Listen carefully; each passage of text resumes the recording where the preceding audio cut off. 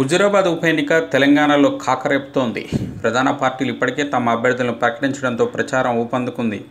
TRS తరపున ఉద్యమకారుడు BC సామాజిక వర్గానికి చెందిన గెల్లు శ్రీనివాస్ యాదవ్ ఇప్పటికే నామినేషన్ వేశారు. మరోవైపు కాంగ్రెస్ తరపున ఎన్ఎస్సీఐ రాష్ట్ర అధ్యక్షుడు బల్మూరు వెంకట్ బరిలోకి దిగుతున్నారు.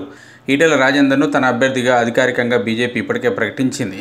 హుజురాబాద్ ఉప ఎన్నికల పోలింగ్ దగ్గర పడుతున్న నేపథ్యంలో అన్ని పార్టీలు వ్యూహ ప్రతివ్యూహాలకు సిద్ధమవుతున్నాయి. హుజురాబాద్ ఉప ఎన్నికల పోలింగ్ దగ్గర పడుతున్న నేపథ్యంలో అన్ని పార్టీలు వ్యూహ ప్రతివ్యూహాలను రచిస్తున్నాయి.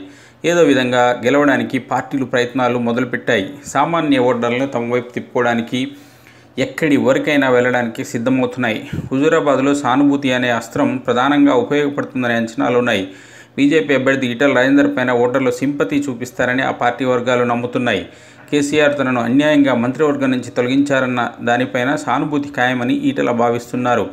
ఇదే సమయంలో మరింత సానుభూతి కూడగట్టుకునేందుకు ఆయన రకరకాల ప్రకటనలు గుప్పిస్తున్నారు. తనపైన దాడి జరిగే అవకాశం ఉందని ఈటల రాజేందర్ ఇటీవల వ్యాఖ్యానించారు.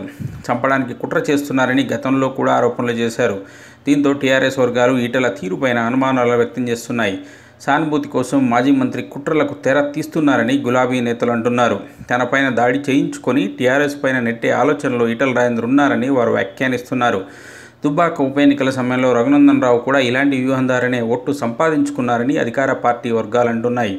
బీజేపీ ఎమ్మెల్యే రాజాసింగ్ తన తలపైన తానే రాయితో కొట్టుకొని పోలీసులపైకి నెట్టే ప్రయత్నం చేశారని గుర్తు చేస్తున్నారు. పోలింగ్ నాటికి బీజేపీ సానుభూతి వ్యూహాన్ని అమలుపరిచి తమను బదనాం చేసే ఆలోచనలో ఉందని పోలీసు యంత్రాంగం దీనిపైన దృష్టి పెట్టాలని గులాబీ నేతలు సూచిస్తున్నారు Subscribe us and press the bell icon for more interesting updates.